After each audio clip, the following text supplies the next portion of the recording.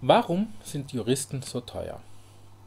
Man hört auf diese Frage immer wieder, dass es leider eine Gebührenordnung gibt und Juristen nicht billiger arbeiten dürfen, als es diese Ordnung erlaubt. Da ist nur ein Schönheitsfehler.